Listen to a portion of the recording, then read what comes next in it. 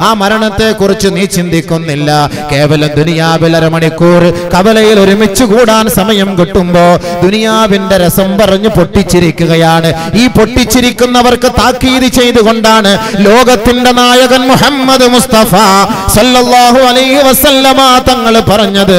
നിങ്ങളുടെ മജിലിസുകളിൽ ഖബറിനെ കുറിച്ച് ഓർമ്മയിടണേ. നിങ്ങളുടെ മജിലിസുകളിൽ ആഖിറത്തെ കുറിച്ചുള്ള ചിന്ത കൊണ്ട് നിറയ്ക്കണേ. നിങ്ങളുടെ മജിലിസിൽ പരലോക ജീവിതത്തെ കുറിച്ചുള്ള പ്രയാണത്തെ കുറിച്ച് നിങ്ങൾ ചർച്ച ചെയ്യണേ.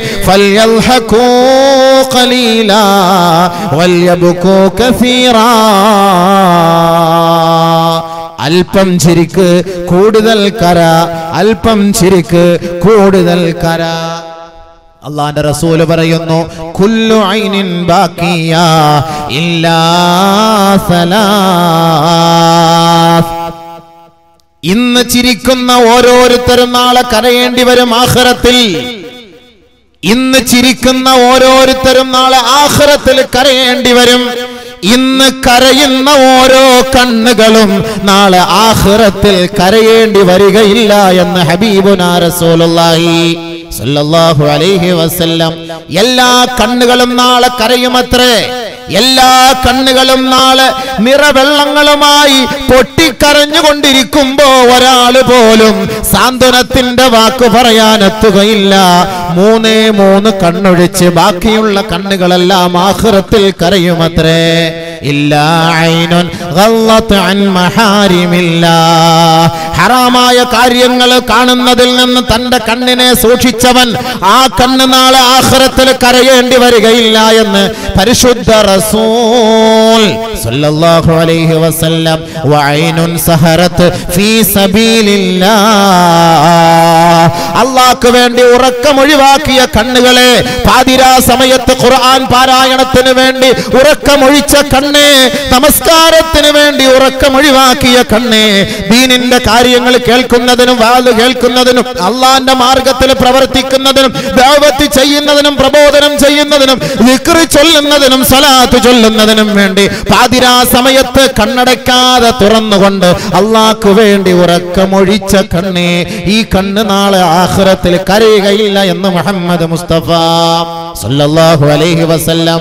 വഅയ്നുൻ ഖറജ മിൻഹാ مثل رأس الذباب من خشية الله ആരുടെയെങ്കിലും കണ്ണിൽ നിന്ന് ഒരു മണി തൂക്കോളം ഒരു തരിമ്പിന്റെ അംശമെങ്കിലും കേവലം ഒരു ചെറിയ പ്രാണിയുടെ കൊതുകിന്റെ അളവോളം കണ്ണുനീര് അള്ളാഹുവിനെ ഭയന്ന് ആരെങ്കിലും കരഞ്ഞാൽ അവന്റെ കണ്ണിൽ നിന്ന് ഇറ്റു വീണാൽ ഈ കണ്ണും നാളെ ആഖിറത്തിൽ കരയുകയില്ല എന്ന് ഹബീബുനാ വസനദുനാ റസൂലുള്ളാഹി സല്ലല്ലാഹു അലൈഹി വസല്ലം.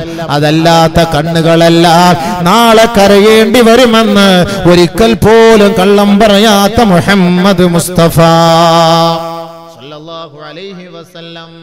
കരയണം. പട്ടുറുമാൽ കാണുന്ന കണ്ണേ സീരിയൽ കാണുന്ന കണ്ണേ റിയാലിറ്റി ഷോ കണ്ടു രസിക്കുന്ന കണ്ണേ നമസ്കാരത്തിന്റെ സമയത്ത് ടി വിയുടെ മുന്നിൽ നിന്ന് ഒഴിവാകാത്ത കണ്ണേ ഓരോ പെണ്ണിന്റെ അങ്കലാവണ്യം ഒപ്പിയെടുക്കുന്ന കണ്ണേ ഈ കണ്ണ് നാളെ കരയേണ്ടി വരുമെന്ന് നബിയുനാ റസൂലുള്ളാഹി.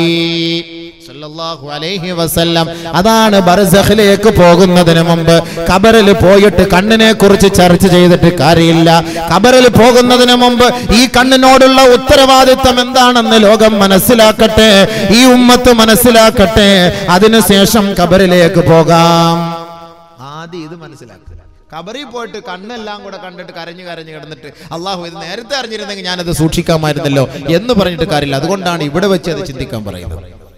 അവിടെ പോയിട്ട് ചിന്തിച്ചിട്ട് കാര്യമില്ല.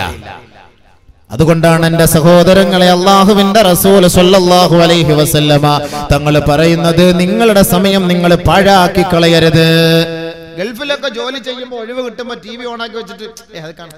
ചുമ്മാ ടൈം പോകുന്നില്ലല്ലോ ഉസ്താദെ ടൈം പാസ് ടൈം പോകുന്നതിന് വേണ്ടി സമയം ഒന്ന് പോയി കിട്ടുന്നതിന് വേണ്ടിയിട്ട് കാണുന്നതാണ് ഈ ഹറാമുകൾ.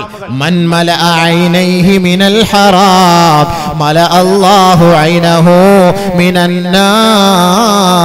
മിനന്നാർ കമാ ഖാല റസൂലുള്ളാഹി ഏതൊരാൾ തന്റെ രണ്ട് കണ്ണുകളെ ഹറാമ് കൊണ്ട് നിറച്ചുവോ ആ രണ്ട് കണ്ണുകളെയും നാളെ നരകത്തിന്റെ തീ കൊണ്ട് അള്ളാഹു നിറയ്ക്കുമെന്ന് മുത്തൊളി മുഹമ്മദ് മുസ്തഫ.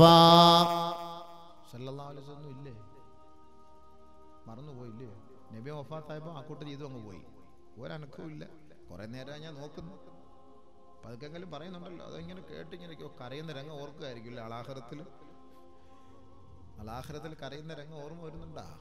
ആദ്യം നമുക്ക് കറി പറയുന്ന ആൾക്ക് കരയാൻ തോന്നിക്കരട്ടെ നമുക്ക് എല്ലാവരെയും കരയണ്ടേ? ഇവിടെ കുറച്ച് കരഞ്ഞാൽ അവിടെ നമുക്ക് ചിരിക്കാം.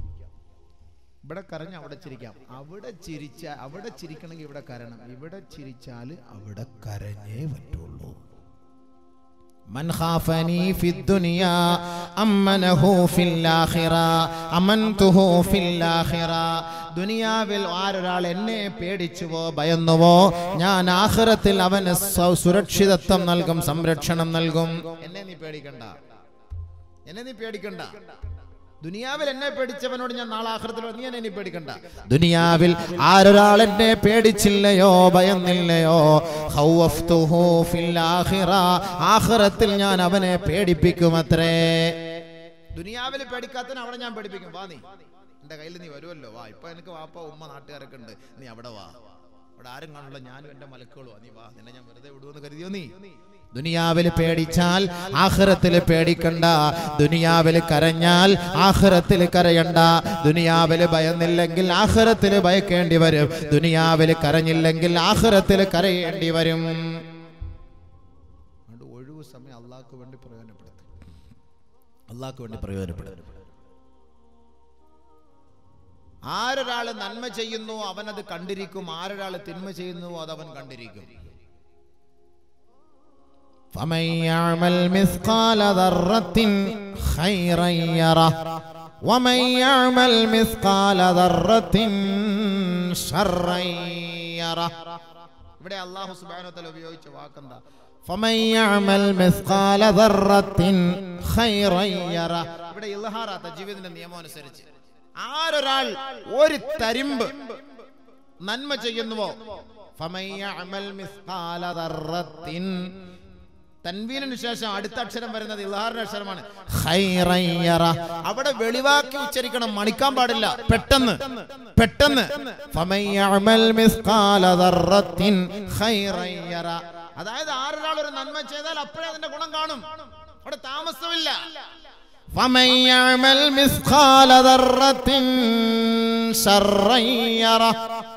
അവിടെ ഇദ്ഗാമാണ് ആരൊരാൾ ഷർറ് ചെയ്യുന്നുവോ അതും അവൻ കാണും. അവിടെ അല്പം അള്ളാഹു പിന്തിച്ചിട്ടേ കാണിക്കുകയുള്ളൂ. അവിടെ കുറച്ച് താമസ. ഒന്നുകിൽ അവന് തൗബ ചെയ്യാനുള്ള അവസരം അവിടെ നൽകുന്നു. അവിടെ മണിക്കണം അവിടെ വെളിവാക്കാൻ പാടില്ല.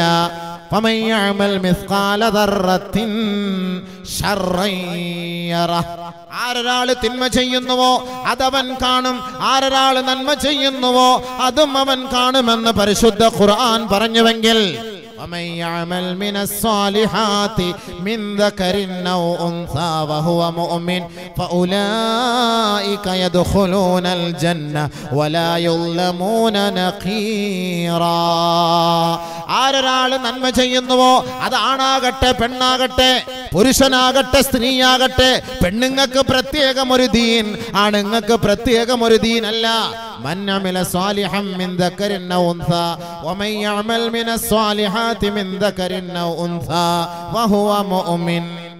നന്മ ചെയ്യുന്ന ആണായാലും പെണ്ണായാലും അവർ വിശ്വാസികളാണ്. അവർക്ക് സ്വർഗമാണ് ഒരു തരിമ്പളവ് പോലും അവരോട് അള്ളാഹു അക്രമം കാണിക്കുകയില്ല എന്ന് പറഞ്ഞാൽ അവർ ചെയ്യുന്ന നന്മയ്ക്ക് അള്ളാഹു കൂലി കൊടുക്കുമെന്നർത്ഥം. ബഹുമാനമുള്ള മോമിനിങ്ങളെ അതുകൊണ്ട് ആരെന്ത് ചെയ്താലും അതിന്റെ കൂലി അവൻ കണ്ടിരിക്കും. ബഹുമാനപ്പെട്ട നബിയുന റസൂലുള്ളാഹി തങ്ങൾ പറയുകയാണ് عرضت علي أعمال أمتي حسنها وسيئتها فوجدت في محاسن أهلها الأذى يمات عن الطريق എന്റെ ഉമ്മത്തികളുടെ നന്മയും തിന്മയുമായ പ്രവർത്തനങ്ങൾ അല്ലാഹു എന്റെ മുന്നിൽ വെളിവാക്കപ്പെട്ടു തന്നിരിക്കുകയാണ് എനിക്ക് കാട്ടിത്തന്നിരിക്കുകയാണ് എന്റെ മുന്നിൽ. പ്രദർശിപ്പിക്കപ്പെട്ടിരിക്കുകയാണ്.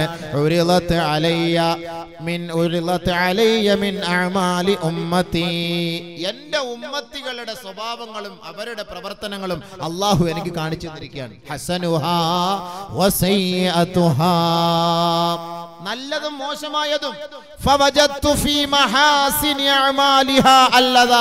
ഞാൻ അതിൽ ഏറ്റവും കൂടുതൽ ഇഷ്ടപ്പെട്ട നല്ല കാര്യം അനി തരീഖ് പാതയോരങ്ങളിൽ കിടക്കുന്ന തടസ്സങ്ങളും കുരുക്കുകളും ഉണ്ടല്ലോ. ഈ കുരുക്കുകൾ നീക്കം ചെയ്യുന്നതാണ് ഞാൻ അതിൽ കണ്ട ഏറ്റവും നല്ല കാര്യമെന്ന് നബീന റസൂലുള്ളാഹി. എന്ന് പറഞ്ഞാൽ ഒരു ചെറിയ കാര്യമെങ്കിലും ഒരു ചെറു കൃത്യമെങ്കിലും നിങ്ങൾ അള്ളാഹുവിന്റെ പ്രീതി കാക്ഷിച്ചുകൊണ്ട് ചെയ്താൽ അതും അള്ളാന്റെ റസൂലിന്റെ മുന്നിൽ അത് കാണിച്ചു കൊടുക്കുമത്രേ. അതിന്റെ പേരിലും അവന് ആഹ്റത്തിൽ രക്ഷ കിട്ടുമത്രേ. ഒരു ചെറിയ കാര്യം പോലും നമ്മൾ ഒഴിവാക്കരുത് എന്ന് സാരം.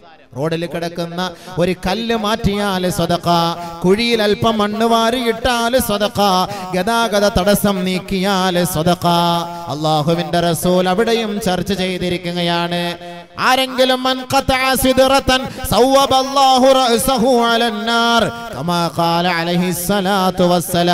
ജനങ്ങൾ വിശ്രമിക്കാൻ ഉപയോഗിക്കുന്ന തണൽ മരങ്ങളുണ്ടല്ലോ വഴിവക്കിലുള്ള തണൽ മരങ്ങളുണ്ടല്ലോ ആരെങ്കിലും അത് മുറിച്ചു മാറ്റിയാൽ അതിന്റെ പേരിൽ അവന്റെ മുഖം കുത്തപ്പെട്ട നിലയിൽ അവനെ നരകത്തിലേക്ക് വലിച്ചെറിയപ്പെടുമെന്ന് ഷഫീഉന റസൂലുള്ളാഹി അവിടെ പോലും ചർച്ച ചെയ്തിരിക്കുകയാണ് ലോകത്തിന്റെ നായകൻ മുഹമ്മദ് മുസ്തഫ. അള്ളാഹുവിന്റെ റസൂൽ മദീന പള്ളിയിൽ നിന്ന് വീട്ടിലേക്ക് പോകുന്ന വഴിയിൽ ഇതേ കവലയിൽ തന്നെ കുറെ സഹാബത്ത് ഒരുമിച്ച് കൂടിയിരിക്കുകയാണ്. ഹബീബുന റസൂലുള്ളാഹി തങ്ങൾ അവരെ നോക്കിയിട്ട് പറഞ്ഞു പത്രേ ഇയാക്കും വൽ ജുലൂസ ഫിത്തുറഖാത്ത് റോഡിന്റെ വക്കിലിരിക്കുന്നത് സൂക്ഷിക്കണം കയ്യാലപ്പുറത്തിരിക്കുന്നത് സൂക്ഷിക്കണം കവലയിലിരിക്കുന്നത് സൂക്ഷിക്കണം.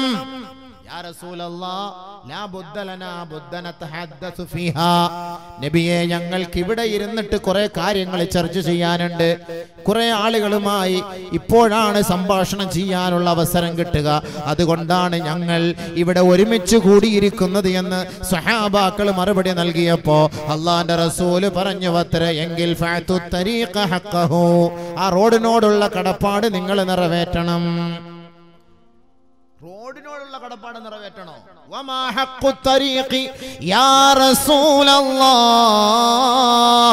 ഈ റോഡിനോടുള്ള കടപ്പാട് എന്താണ് നബിയെ എന്ന് സുഹാബത്ത് ചോദിച്ചപ്പോ അള്ളാന്റെ റസൂൽ പറയുകയാണത്രേ ബസർ കണ്ണിനെ സൂക്ഷിക്കണം കവലയിലും ബസ് സ്റ്റാൻഡിലും ഇരിക്കുന്നത് കൊള്ളാം. ചെറുപ്പക്കാരെ നാലു മണി വിടുമ്പോ നിങ്ങൾ ഒരുമിച്ച് കൂടുന്നത് എന്തിനാണെന്ന് അള്ളാഹ്ക്കറിയാം ഹബീബുന തങ്ങക്കറിയാം.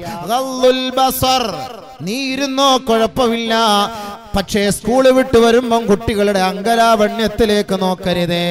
ബസ്സിലൂടെ ഉന്തിത്തള്ളി കയറുന്ന പെണ്ണുങ്ങളെ നോക്കരുതേ ബസർ റോഡ് വക്കത്തിരിക്കുന്നവർ വഴിവക്കത്തിരിക്കുന്നവർ അവരുടെ കണ്ണിനെ അവർ സൂക്ഷിച്ചു കൊള്ളട്ടെ ബസർ.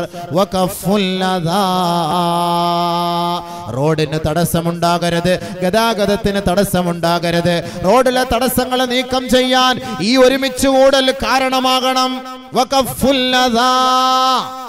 നിങ്ങൾ ഒരുമിച്ച് കൂടി അവിടെ യാത്രക്കാർക്കും വാഹനത്തിനും തടസ്സമുണ്ടാക്കാൻ പാടില്ല.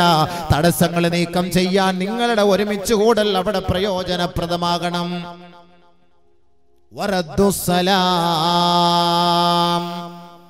ആരെങ്കിലും നിങ്ങൾക്ക് സലാം നൽകി പറഞ്ഞാൽ നിങ്ങൾ അതിന് മറുപടി നൽകണം. നബി സല്ലല്ലാഹു അലൈഹി വസല്ലം തങ്ങൾ പറയാ റോഡിലിരിക്കുന്നവരോട് റോഡിലിരിക്കുന്നവരോടുള്ള കാര്യം പറയുന്നത്. കണ്ണ് സൂക്ഷിച്ചോളണം സംസാരം സൂക്ഷിച്ചോളണം റോഡിൽ തടസ്സമൊന്നും ഉണ്ടാക്കരുത്. നല്ല കാര്യങ്ങളൊക്കെ പറയണം ആരെങ്കിലൊക്കെ സലാം പറഞ്ഞാൽ മറുപടി പറയണം. സലാം പറയാതെ പോലെ നിങ്ങൾ അങ്ങോട്ട് സലാം പറയണം. ഇതൊക്കെ റോഡിനുള്ള ഉത്തരവാദിത്തങ്ങളാണ്. അപ്പൊ ഇതുപോലും എടുത്ത് എന്റെ മുന്നിൽ കാണിക്കപ്പെടും. ഈ ഉമ്മത്ത് ചെയ്യുന്ന പ്രവർത്തനം ഈ ഉമ്മത്ത് ചെയ്യുന്ന പ്രവർത്തനം എന്റെ മുന്നിൽ അള്ളാഹു കാണിച്ചു തരും. അപ്പോൾ കുപ്പിയുമായി കവലയിൽ കാത്തിരിക്കുന്ന മുസ്ലിമേ നീ കുപ്പിയുമായി പോകുന്നത് അള്ളാന്റെ റസൂലിനെ മുന്നിൽ കാണിക്കപ്പെടുമ്പോ ഹബീബുന റസൂലുള്ളാഹി തങ്ങൾ എത്ര വേദനിക്കും അത്രേ? അള്ളാഹുവിന്റെ റസൂലിന്റെ അടുക്കൽ മാത്രമല്ല പാപ്പായുടെ ഉമ്മയുടെയും കബറിൽ കാണിക്കും മക്കളുടെ സ്വഭാവം. ബഹുമാനപ്പെട്ട ഹബീബുന റസൂലുള്ളാഹി തങ്ങൾ പറയുകയാണ്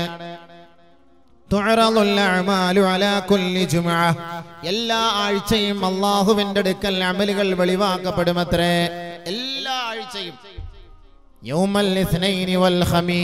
തിങ്കളാഴ്ച ദിവസവും വ്യാഴാഴ്ച ദിവസവും. അതിനാണ് തിങ്കളും വ്യാഴവും നോമ്പ് പിടിക്കാൻ അള്ളാഹുവിന്റെ റസൂൽ ഇഷ്ടപ്പെട്ടത്.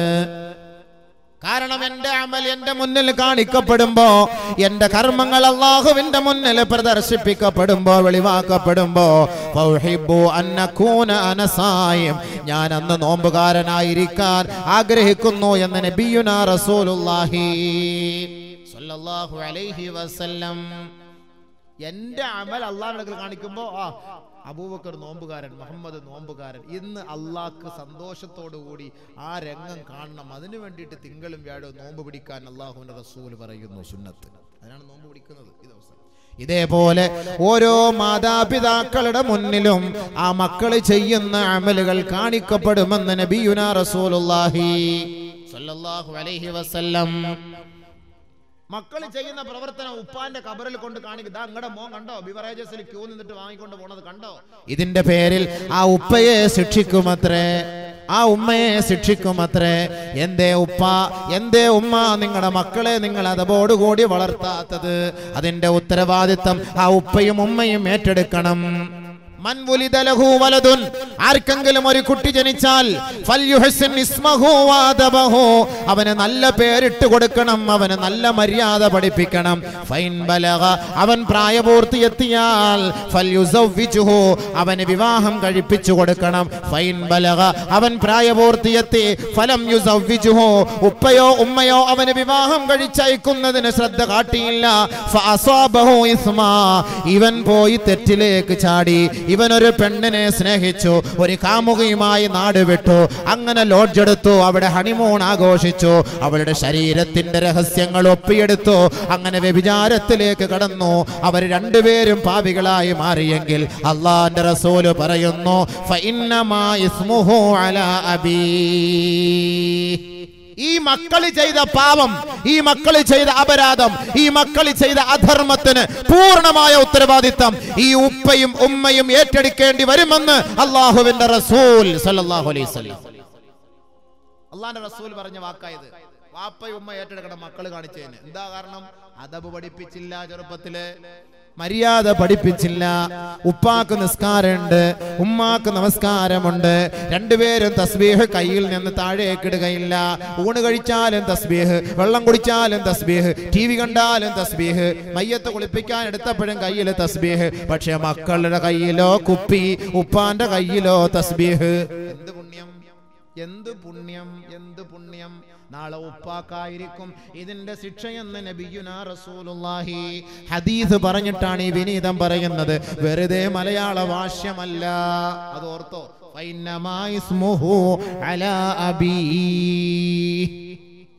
അതുകൊണ്ട് മാതാപിതാക്കൾ ചെയ്യുന്ന മാതാ മക്കൾ ഭൂലോകത്ത് വെച്ച് മക്കൾ ചെയ്യുന്ന പൂർണമായ തെറ്റുകൾ വാപ്പയുടെയും ഉമ്മയുടെയും മുന്നിൽ പ്രദർശിപ്പിക്കപ്പെടും വെളിവാക്കപ്പെടും. അവർ നല്ലവർ അവർ നല്ല പ്രവൃത്തിയാണ് ചെയ്യുന്നതെങ്കിലോ ഉപ്പയോടും ഉമ്മയോടും അള്ളാഹു കരുണ കാണിക്കുമത്രേ. അവരുടെ കബറിൽ അള്ളാഹു വിശാലത നൽകുമത്രേ. മലക്കുകളോട് പറയും അവർക്ക് വിശാലത നൽകുക. അവർക്ക് സ്വർഗത്തിന്റെ പട്ടിട്ട് കൊടുക്കുക. സ്വർഗത്തിന്റെ പട്ടുടയാടുകളിൽ അവരെ പൊതിയുക സ്വർഗീയ ഭക്ഷണങ്ങൾ നൽകി അവരെ ആദരിക്കുക. നല്ല കുട്ടികൾ അവരുടെ നല്ല സ്വഭാവം ദുനിയാവിൽ പ്രകടമാക്കിയാൽ ആ മരിച്ചു കിടക്കുന്ന ഉപ്പയും ഉമ്മയും കബറിൽ കിടന്ന് സന്തോഷിക്കുമത്രേ. ബഹുമാനമുള്ള സഹോദരങ്ങളെ അതുകൊണ്ട് നമ്മുടെ സമയം പാഴാക്കരുത്. നല്ലതിനു വേണ്ടി പ്രവർത്തിക്കണേ നല്ലതിനു വേണ്ടി മാറ്റിവെക്കണേ. നല്ല പ്രവർത്തനങ്ങൾ ചെയ്യാൻ വേണ്ടി നമ്മുടെ ആ, ഉപയോഗിക്കുക ഇല്ലെങ്കിൽ എന്താ സംഭവിക്കുക എന്താ സംഭവിക്കുക ആഹ്റത്തിൽ ചെന്നിട്ട് നാളെ അവിടെ ചെല്ലുമ്പോ അള്ളാഹുവിന്റെ മുന്നിൽ കൊണ്ടുവരുമ്പോ ചോദ്യം ഉണ്ടാവും വാ എല്ലാരും വാ وهم يصطرخون فيها ربنا أخرجنا نعمل صالحا غير الذي كنا نعمل. أولم نعمركم ما يتذكر فيه وجاءكم النذير. അള്ളാഹു നമുക്ക് ദുനിയാവിൽ സമയം തരാതെ നമ്മളെ ശിക്ഷയ്ക്ക് വിധേയരാക്കുകയില്ല. ദുനിയാവിൽ അള്ളാഹു നമുക്ക് സമയം നൽകിയിട്ടുണ്ട്. ദുനിയാവിൽ അള്ളാഹു ആയസ് നൽകിയിട്ടുണ്ട്. ദുനിയാവിൽ അള്ളാഹു സമ്പത്ത് നൽകിയിട്ടുണ്ട്. ദുനിയാവിൽ അള്ളാഹു ആരോഗ്യം നൽകിയിട്ടുണ്ട്. ഈ ആരോഗ്യവും ഈ ദുനിയാവിലെ സമ്പത്തും ഈ ദുനിയാവിലെ ജീവിക്കാനുള്ള സകലമാന വ്യവസ്ഥകളും അള്ളാഹു നമുക്ക് നൽകിയിട്ട് ഇതെല്ലാം ഉപയോഗിക്കാതെ പാഴാക്കിയിട്ട് ആഹ്റത്തിൽ പോകുമ്പോൾ അള്ളാഹിന്റെ കോടതിയിൽ വരുമ്പോൾ ഇവൻ അട്ടഹസിച്ച് വിളിച്ചു പറയും അത്രേ വഹും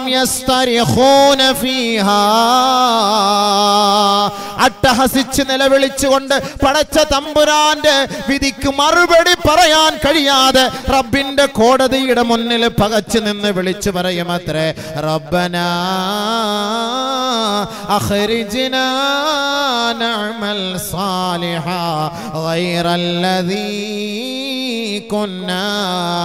നഅമൽ അല്ലാഹുവേ നീ ഞങ്ങൾക്കൊരവസരം കൂടെ നൽകണം. ഞങ്ങൾ ചെയ്യാത്ത കർമ്മങ്ങൾ മുഴുവതും നിനക്ക് വേണ്ടി ചെയ്യാൻ ഞങ്ങൾ തയ്യാറാണ് പടച്ചവനെ. അതിനുള്ള ഒരവസരം നീ ഞങ്ങൾക്ക് നൽകണമേ എന്ന് റബ്ബിന്റെ കോടതിയുടെ മുന്നിൽ വാവിട്ട് കരയുമത്രേ പൊട്ടിക്കരയുമത്രേ അലമുറയിട്ട് നിലവിളിച്ച് കരയുമത്രേ. ഉടനെ അള്ളാഹുവിന്റെ മറുപടി അവലം മായ തീ من تذكر وجاءكم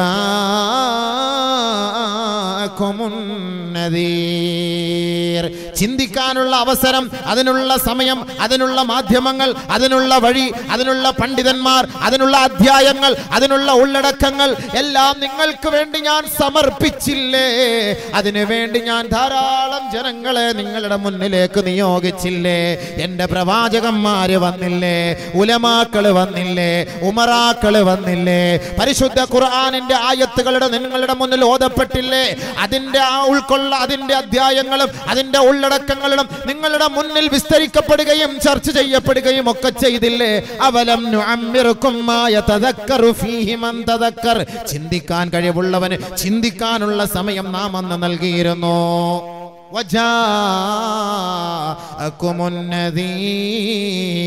മാത്രമല്ല ഖുർആനാണ് പഠിച്ചവനെ ഞങ്ങൾക്കറിയില്ലായിരുന്നു. അറബി അറിയില്ലായിരുന്നു. വായിക്കാൻ അറിയില്ലായിരുന്നു. നബിതങ്ങളുടെ ഹദീസുകൾ അറബിയായിരുന്നു. ഇത് മനസ്സിലാക്കാൻ കഴിഞ്ഞില്ല റബ്ബേ എന്ന് നിങ്ങൾ പറയാതിരിക്കാനാണ് അള്ളാഹു പറഞ്ഞത്. ഈ ഖുർആാനിന്റെ അർത്ഥങ്ങൾ പഠിച്ച അതിന്റെ ആശയങ്ങളും അതിന്റെ ആദർശങ്ങളും മനസ്സിലാക്കിയ പണ്ഡിതന്മാർ നിങ്ങളുടെ മുന്നിൽ ഇത് ഓതി തന്നില്ലേ? ഇനി ചർച്ച ചെയ്തില്ലേ? എന്തേ നിങ്ങളിത് ഉൾക്കൊള്ളാഞ്ഞത് എന്ന് അള്ളാഹു മറുപടി നിങ്ങളോട് ചോദിക്കുമ്പോ നിങ്ങൾക്ക് അവിടെ മറുപടിയില്ല. നിങ്ങൾ പടച്ച തമ്പുരാന്റെ മുന്നിൽ തല കുനിച്ച് ലജ്ജിച്ച് നിൽക്കേണ്ടി വരും. ഉടനെ അവർ പറയും കാലോ ബല കദ്ജ അനാനദീ فكذبنا وقلنا ما نزل الله من شيء. فكذبنا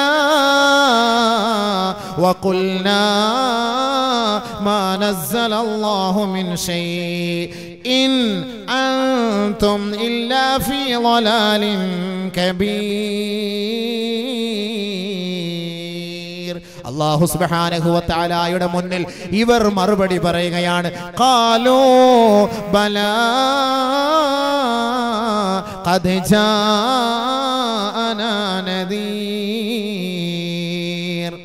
അതെ അല്ല വന്നിരുന്നു അല്ല പ്രവാചകന്മാർ വന്നു പറഞ്ഞിരുന്നു അല്ല ഉസ്താദുമാര് പ്രഭാഷണം നടത്തി മനസ്സിലാക്കി തന്നിരുന്നു അല്ല. ഞങ്ങൾ പറയും ആ സന്ദർഭത്തിൽ. ഞങ്ങളെന്ന് പറഞ്ഞിരുന്നു ഇതെല്ലാം കള്ളത്തരങ്ങളാണ് ഇതെല്ലാം പൊള്ളയാണ് ഇതൊന്നും വിശ്വസിക്കണ്ട ഇതൊന്നും നിങ്ങൾ അംഗീകരിക്കണ്ട. ദുനിയാവിൽ അടിച്ചുപൊളിച്ച് ജീവിക്കാൻ അള്ളാഹു അവസരം നൽകിയിരിക്കുകയാ. നാളെ ഒരു ദിവസം മരിച്ചു പോകും. അതുകൊണ്ട് ഈ മൊയിലിയാക്കന്മാര് പറയുന്നതോ ഉസ്താദുമാര് പറയുന്നതോ ഈ പ്രഭാഷണത്തിലൂടെ ചർച്ച ചെയ്യുന്നതോ ഇതൊന്നും കേൾക്കണ്ട. من شيء إن أنتم إلا إلا في ضلال كبير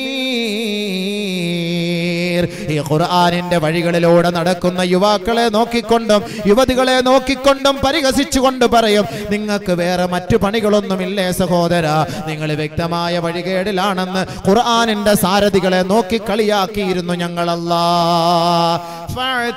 فاعترفوا بذنبهم فاعترفوا بذنبهم فسحقا لأصحاب السعير അങ്ങനെ അവരുടെ പാതകങ്ങൾ അവരുടെ പാപങ്ങൾ അവർ അള്ളാന്റെ മുന്നിൽ ഏറ്റുപറയുമത്രേ സത്യമായിരുന്നു അല്ലാ ശരിയായിരുന്നു അല്ലാ ദുനിയാവിൽ ഞങ്ങൾ ചെയ്തത് അധർമ്മമാണ് അല്ലാ എന്ന് അവർ ആ സത്യം ഏറ്റു പറയുമത്രേ ഫസുഹ്ഖൻ ലി അസ്ഹാബി സഈർ. നിങ്ങൾക്ക് നരകമല്ലാതെ ഒരു പരിഹാരവും അവിടെ ഇല്ല മറുപടി മറുപടി. ഒരു പരിഹാരം അവിടെ ഇല്ല. നരകത്തിന് അവകാശികളായി അടിമപ്പെട്ടോ? നിങ്ങൾക്ക് നാശം നിങ്ങൾക്ക് നാശം നിങ്ങൾക്ക് നാശം. നമ്മൾ തന്നെ പറഞ്ഞവർ എല്ലാവരും വന്നിരുന്ന് വാതിൽ വെച്ചിരുന്നു ഇടയ്ക്കിടയ്ക്ക് എല്ലാം ഞങ്ങളതൊക്കെ കേട്ടതാ സംഭവം. പക്ഷെ പിന്നെയും ഞങ്ങൾ അതിന്റെ മുന്നിൽ കൂടെ പോകുമ്പോൾ ഉച്ചിമുടി കിടന്ന് ഇങ്ങനെ അടിക്കും. അങ്ങനെ ഞങ്ങൾ ഒരു പെഗ് വാങ്ങിക്കാൻ പോണതാണ്. ഒന്ന് കുടിക്കുന്നതാണ്. ഞങ്ങൾ അന്ന് കണ്ടുപോയി രസിക്കുന്നതാണ് എന്ന് അവൻ നാളെ ആഹൃതി പറയും. ആ ശരി അങ്ങനെയൊക്കെ ചെയ്തല്ലേ? ഫസുഹക്കല്യ സുഹാബി സാഹിർ നരകവാസികളോട് നരകത്തിൽ പോയി കിടന്നു. ചർച്ച നരകവാസികളുടെ കൂട്ടത്തിൽ നരകത്തിൽ പോയി കിടന്നു.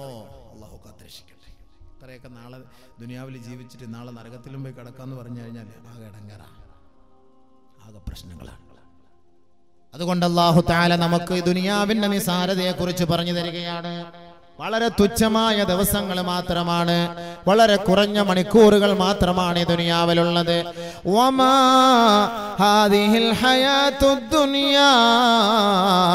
ഇല്ലാ وإن الدار الآخرة لهي الحيوان. وإن الدار الآخرة لهي الحيوان. لو كانوا يعلمون. ദുനിയാവിലെ ജീവിതം കേവലം കളിയും ചിരിയും വിനോദവും മാത്രമാണ്. അള്ളാഹു തന്നെ നമുക്ക് അറിയിച്ചു തരികയാണ്.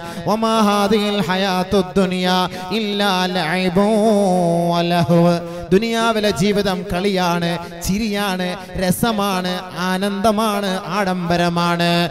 وما هذه الحياة الدنيا إلا لعب وله وإن الدار الآخرة وإن الدار الآخرة لهي الحيوان ആഖിറത്തിലെ ജീവിതമുണ്ടല്ലോ. അതാണ് അനശ്വരമായ ജീവിതം. അവിടെ മരണമില്ല അവിടെ ദുഃഖമില്ല അവിടെ വിചാരണയില്ല അവിടെ പ്രയാസമില്ല അവിടെ രോഗമില്ല അവിടെ കടമില്ല അവിടെ ആക്ഷേപമില്ല അവിടെ അധിക്ഷേപമില്ല അവിടെ പരിഹാസമില്ല അവിടെ പരനിന്ദയില്ല.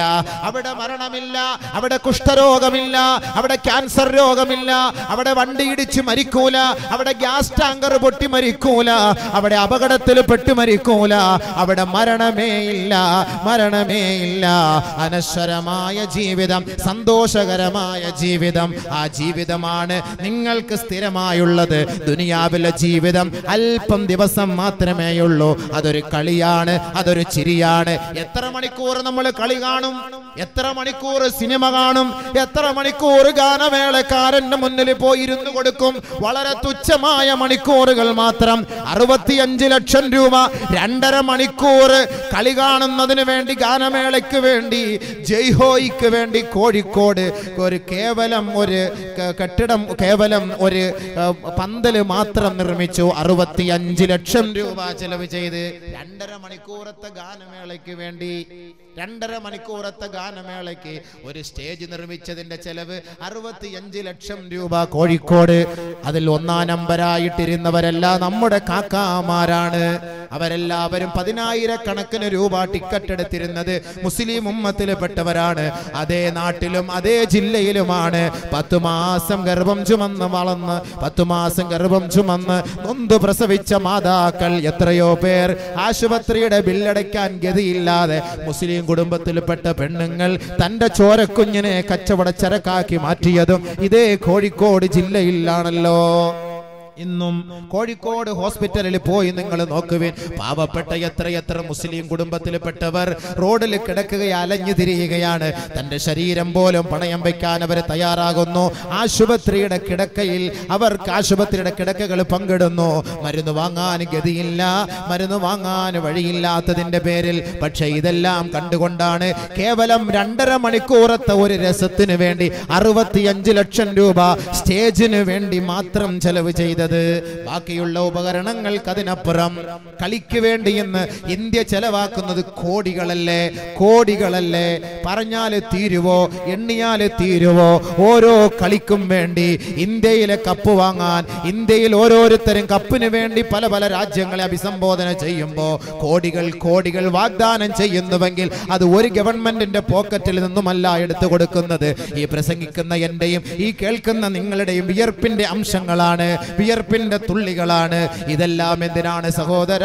കേവലം രണ്ടര മണിക്കൂറത്തെ ജീവിതത്തിന് വേണ്ടി മാത്രം. ഈ സുഖവും ഈ ആഡംബരങ്ങളും എത്ര മണിക്കൂർ നിങ്ങൾ ക്രിക്കറ്റ് കളി കണ്ടുകൊണ്ടിരിക്കും? എത്ര മണിക്കൂർ സിനിമ കണ്ടുകൊണ്ടിരിക്കും? കോടികൾ ചെലവ് വരുന്ന ഈ ഗാനമേള പോലും ഈ ക്രിക്കറ്റ് കളി പോലും ഈ ഫുട്ബോൾ പോലും നിങ്ങൾ കാണുന്നത് ഒരു മണിക്കൂറോ രണ്ട് മണിക്കൂറോ രണ്ടര മണിക്കൂറോ മാത്രമാണെങ്കിൽ അള്ളാഹു താല പറയുന്നു.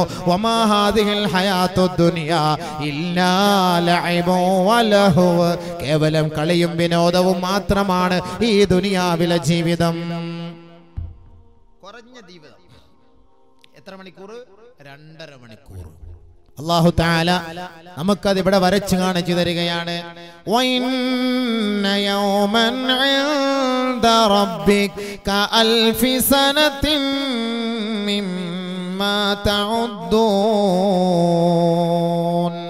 അള്ളാഹു താല പറയുകയാണ് നാളെ ആഹ്റത്തിലെ ഒരു ദിവസമുണ്ടല്ലോ.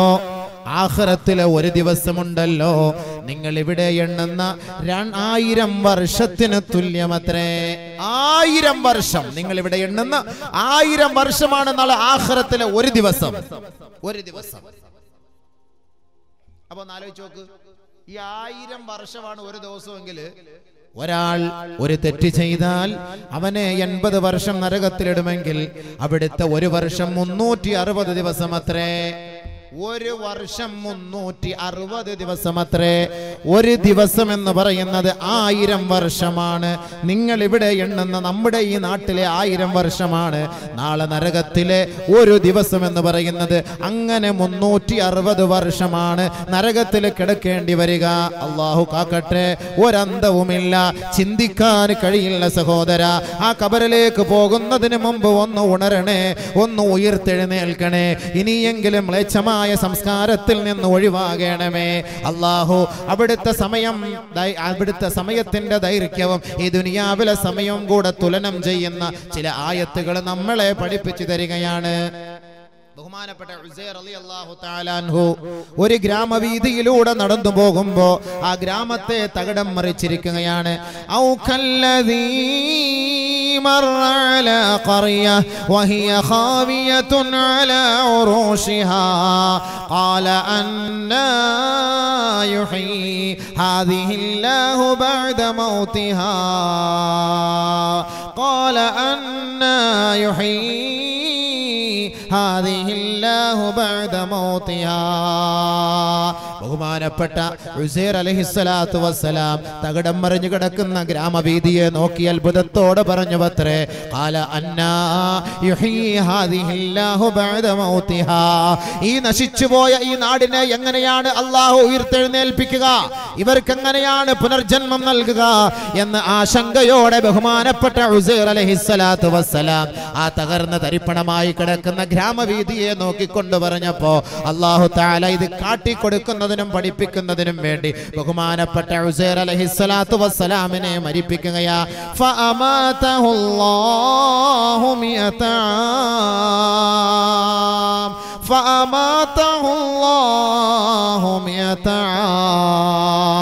നൂറ് വർഷം ഉസൈർ അലഹിസ്സലാത്തു വസ്സലാമിനെ അള്ളാഹു മരിപ്പിച്ചു. അള്ളാഹു ഉറക്കിയത്രേ. അത്രേ. നൂറ് വർഷം കഴിഞ്ഞ് ഉസൈറിനെ എഴുന്നേൽക്കാൻ പറഞ്ഞു. ഉസൈർ അലഹിസ്സലാത്തു വസ്സലാം സടകുടഞ്ഞെഴുന്നേറ്റു. ഉസൈറിനോട് ചോദിച്ചു അത്രേ അല്ലാഹോ കം ലബിസ്ത. ഉസൈറെ നീ എത്ര ദിവസമാണ് ഉറങ്ങിയത്? എത്ര മണിക്കൂറാണ് ഉറങ്ങിയത്? എത്ര വർഷമാണ് ഉറങ്ങിയത് എന്ന് നൂറ് വർഷം ഉറങ്ങിയ ഉസൈറിനോട് അള്ളാഹു ചോദിച്ചു അത്രേ. കാല ഉസൈർ അലി അള്ളാഹുവിന് പറഞ്ഞു അത്രേ. കം ലബിസ്തു കാല കം ലബിസ് കാല ലബിസ്തു യൗമൻ ഔ ബഅദ യൗം. ഒരു ദിവസമോ? ഒരു ദിവസം ഉറങ്ങിക്കാണു അല്ല ആരാ പറയുന്നത്? നൂറ് വർഷം ഉറങ്ങിയ ഉസൈറാണ് പറയുന്നത്. ലബിസ്തു യൗമൻ ഔ ബഅദ യൗം. ഖുർആൻ ആയത്ത് വിശ്വസിച്ചൂടെ? അതീതാകുമ്പോഴാണല്ലോ ലൈഫാണ് മൗതുവാണെന്നൊക്കെ പറയുന്നത്. പരിശുദ്ധ ഖുർആൻ സൂറത്തുൽ ബഖറ ലബിസ്തു യൗമൻ ഔ ബഅദ യൗം. ഒരു ദിവസം അര ദിവസം ഉറങ്ങിയ അല്ലാഹ് അസ്ഹാബുൽ അല്ലാഹു താല തിരുക്കി അല്ലാഹു മനസ്സിലാക്കി കൊടുക്കുകയാണ്. ഇല്ല ഉസൈറെ ബൽ ലബിസ്ത നൂറ് വർഷം നീ ഉറങ്ങി ഉസൈറെ. നൂറ് വർഷം നീ ഉറങ്ങി. നീ ഒരു ദിവസമല്ല അര ദിവസമല്ല. നൂറ് വർഷം ഞാൻ ഉറങ്ങിയോ? അതെ തീർന്നല്ലോ സമയം അത്രയും അസ്ഹാബുൽ കൗഫുകാർ അസ്ഹാബുൽ കഹഫ് ഗുഹാവാസികൾ ഗുഹാവാസികൾ ഗുഹയ്ക്കകത്തുറങ്ങിയത് മുന്നൂറ്റി ഒമ്പത് വർഷമാണ്.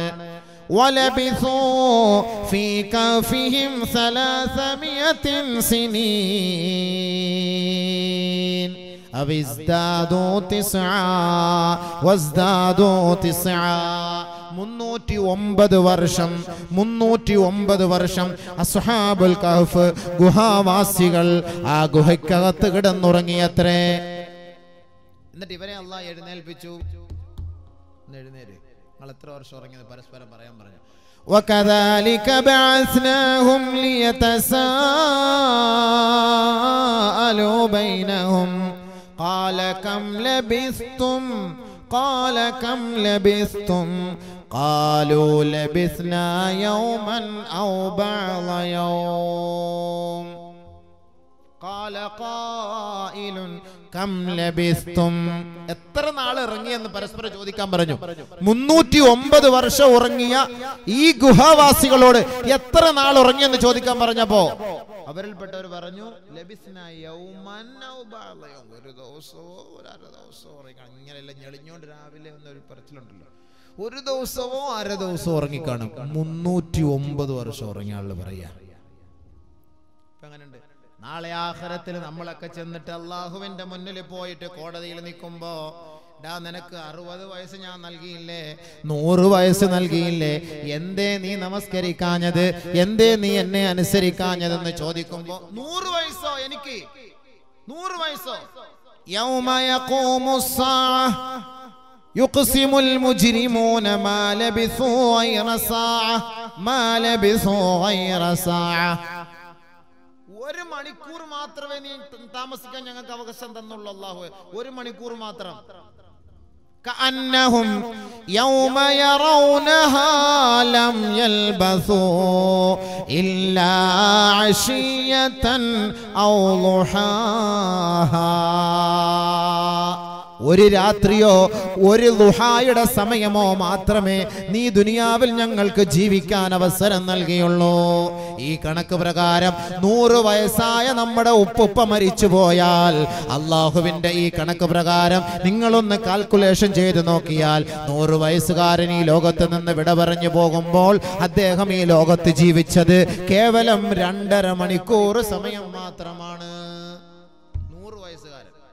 ഈ അള്ളാന്റെ ഈ കണക്ക് പ്രകാരം ഈ ആയിരം വർഷം ഒരു ദിവസത്തിന് തുല്യമാണെന്ന് പറയുമ്പോൾ ഈ കണക്ക് പ്രകാരം ഒന്ന് കുട്ടികൾ നൂറ് വയസ്സായി നമ്മുടെ ഉപ്പുപ്പ മരിച്ചു പോയ ഞങ്ങളൊന്ന് കാൽക്കുലേഷൻ ചെയ്ത് നോക്കിയാൽ രണ്ടര മണിക്കൂറേ ദുനിയാവ് ജീവിച്ചിട്ടുള്ളൂ. പിന്നെ പതിനെട്ട് വയസ്സുകാരൻ മരിച്ചു പോയാലും മുപ്പത്തഞ്ച് വയസ്സുകാരൻ മരിച്ചു പോയാലും ഈ നാൽപ്പത് വയസ്സുകാരൻ മരിച്ചു പോയാലും കണക്ക് പിന്നെ പറയണോ? എത്ര മണിക്കൂർ കാണും?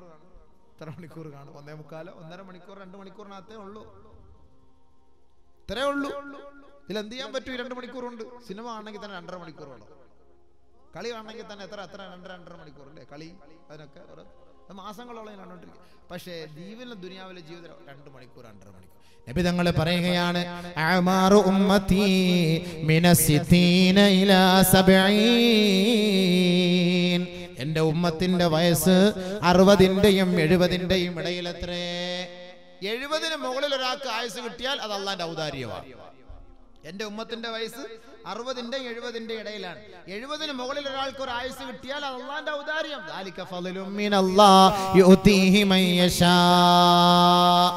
അതുകൊണ്ട് കുറഞ്ഞ ജീവിതമേ ഈ ദുനിയാവിലുള്ളൂ. ഈ ജീവിതത്തിന് വേണ്ടി നിങ്ങൾ എന്ത് ചെയ്യണ്ട? കിടന്ന് നെട്ടോട്ട ഓടണ്ട. ആഹാരത്തിലേക്ക് വേണ്ടി വാ. അതാണ് അള്ളാന്റെ റസൂൽ പറഞ്ഞത്.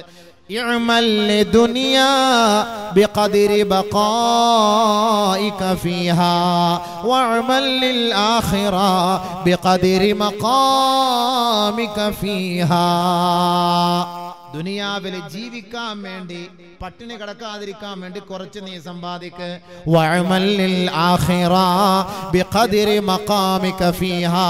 നീ ഒരു വീട് സ്വന്തമായി വാങ്ങുന്നതിന് വേണ്ടി കൂടുതൽ പരിശ്രമിക്ക്. ഇന്ന് ഗൾഫിൽ പോണ എന്തിനാ? ഒരു വീട് വെക്കണം. ഒന്ന് വീട് വെക്കണം. കട ഒന്ന് തീർക്കണം. ഇതാണ് ആഗ്രഹിച്ച് ഗൾഫിൽ പോണത്. അവന്റെ ലക്ഷ്യം എന്താ? ഒരു വീട് വെക്കണം. അള്ളാന്റെ റസൂൽ പറയുന്നു ആഹ്റത്തിലേക്ക് വീട് വെക്കാം നീ പരിശ്രമിക്കണം.